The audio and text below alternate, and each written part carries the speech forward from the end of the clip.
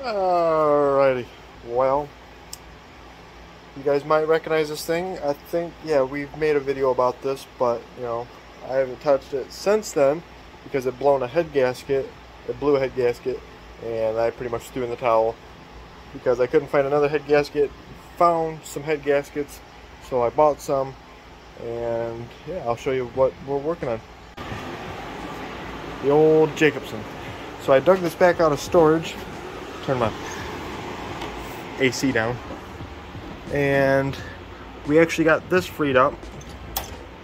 If you guys didn't remember, this was that was seized up, and a little bit of a, a burp gun. Uh, we just pretty much just bumped it right here on this lip and it didn't take much and it freed it right up. And I put the PB blaster on it overnight and it moves like it's brand new there's hardly any slop in it so I know everything down there is nice and tight but I pulled the head off because I knew the head gasket was blown and that's where it blew so I ordered a new head gasket and exhaust gasket because this is not even there, half of it's there.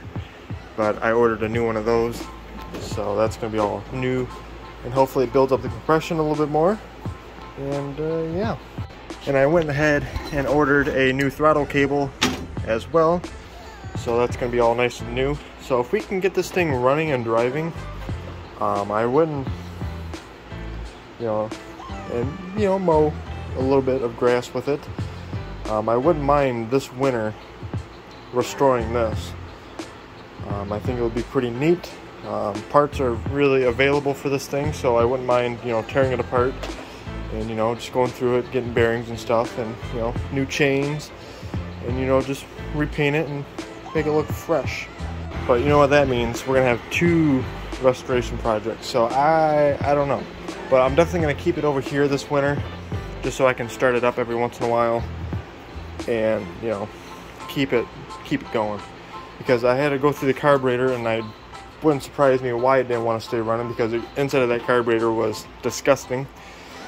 Um, it was just varnish and old oil and stuff from the gas tank and stuff. So went ahead, went through that, cleaned it out, threw it back on already.